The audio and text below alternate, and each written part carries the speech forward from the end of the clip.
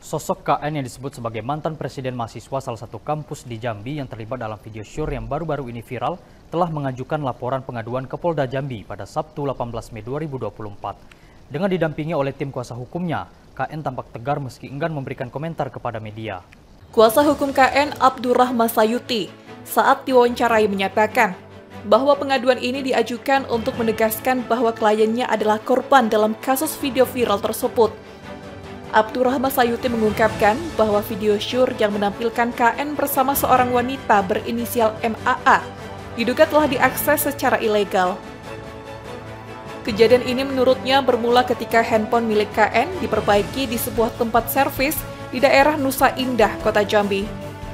Pada saat servis itu, kata Sayuti, pihak servis meminta kata Sandi dengan alasan untuk mempermudah dalam proses servis.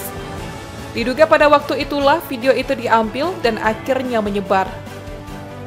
Ujar Abdurrahman Sayuti, handphone milik mantan presiden mahasiswa tersebut pertama kali diservis pada 20 April 2024 dan sempat dibawa pulang oleh KN. Namun, tak lama kemudian, handphone itu kembali mengalami masalah dan diservis lagi pada 2 Mei. Dalam rentan waktu 2 hingga 4 Mei, video tersebut mulai viral. Berdasarkan klaim kuasa hukum itu, pada 4 Mei, handphone KN masih berada di tempat servis ketika video tersebut menyebar. KN mengetahui penyebaran video tersebut dari seorang saksi berinisial S. Kuasa hukum KN itu juga mengklarifikasi bahwa KN dan MAA adalah pasangan suami istri yang sah. Dan terkait video yang dibuat tersebut merupakan konsumsi pribadi, bukan untuk disebarkan. Terakhir, Sayuti mengatakan Pihaknya berharap kepolisian memproses laporannya, yakni dengan segera menindak bagi penyebar video kliennya itu, karena menurutnya, kliennya itu merupakan korban penyebaran yang dilakukan oleh orang-orang yang tidak bertanggung jawab. Kita fokus pada membuat laporan pengaduan terhadap berita yang viral eh, terkait klien eh, kita inisial KN yang mana videonya itu menyebar ya. kita buat laporan sebagai bentuk bahwasanya kita ini adalah korban daripada video yang viral.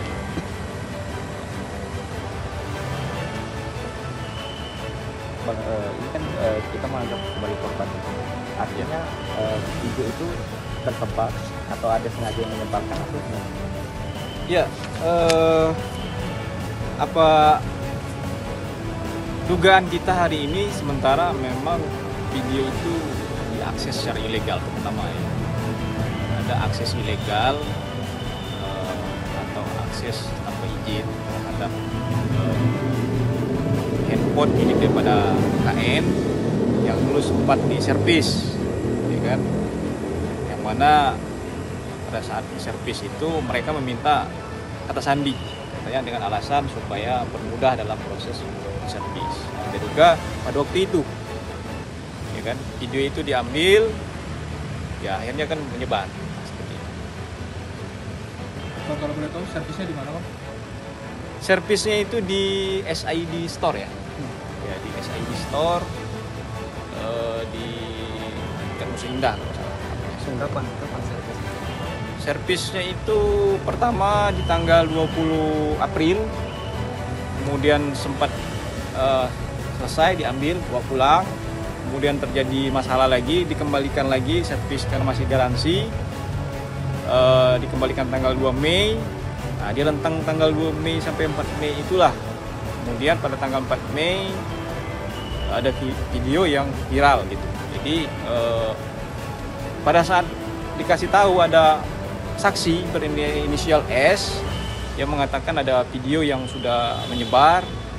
Posisi handphone korban si KN itu masih di tempat servis.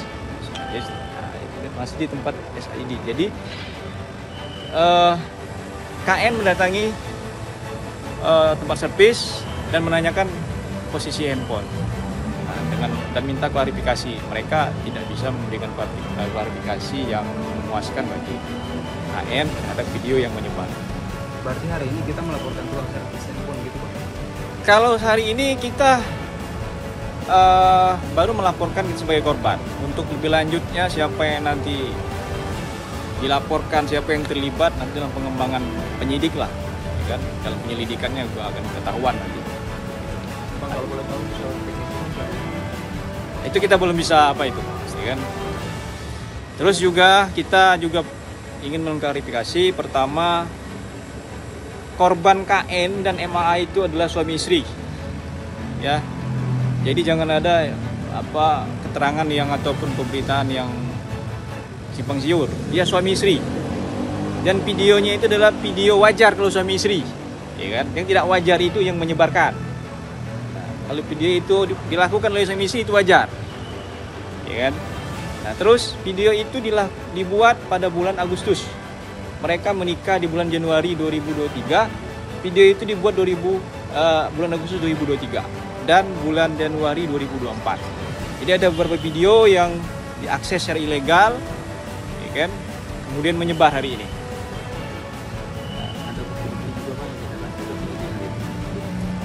Ada kita beberapa screenshot tangkapan layar kita beri ke penyidik sebagai petunjuk, sebagai barang bukti untuk mendukung keterangan kita. Dan kita juga lampirkan eh, surat eh, nikah daripada antara KN dan MAA. Bang, boleh uh, dipastikan siapa yang dilaporkan? Kalau yang dilaporkan nanti ada dalam pengembangannya nanti akan apa? Akan kelihatan siapa yang nanti akan masuk di sini. ya kan? Bisa saja nanti yang menyebar video, bisa saja yang memperjualbelikan video, kita juga punya data itu, ya kan?